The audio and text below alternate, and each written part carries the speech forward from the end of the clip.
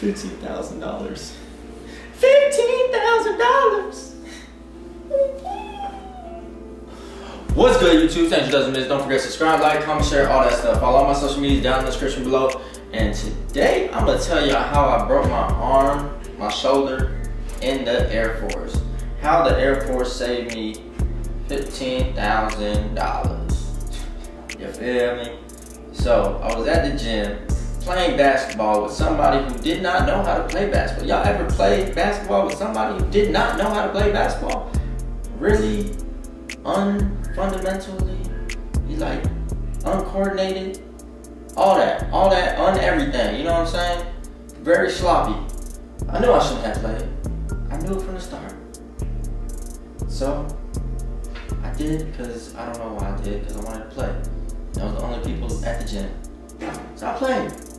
And this is where it got me. So he's playing defense on me. Um, I'm, I'm going after the ball because the ball got loose. And and he goes for the ball, but he grabs my arm and like does an alligator roll. Ever seen an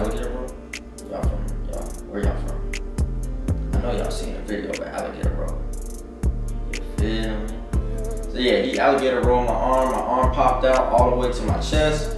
And yeah, it was very ugly, you know what I'm saying? And I couldn't move or anything. Had the ambulance called on me. I was stuck in a position on the floor. Uh, yeah, I wasn't moving out that spot for sure. They gave me a bunch of medicine, some hella drugs, everything.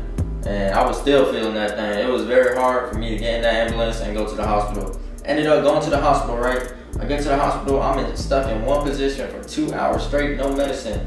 Medicine all wore off, I'm, feeling everything. Stuck in one position, two hours. They come back, medicine, they put me to sleep. I wake up to a nightmare, a $15,000 bill.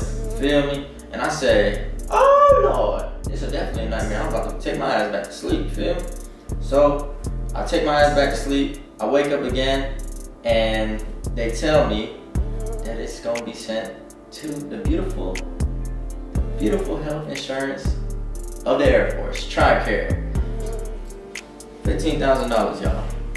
The Air Force saved me $15,000 and they also put my arm back in place and I'm still going to uh, therapy and all that extra extra stuff to make my arm at 100% again or hopefully 100%. I don't know if that thing will ever be 100% but yeah, that, thing, I can't move it at all. It's stuck.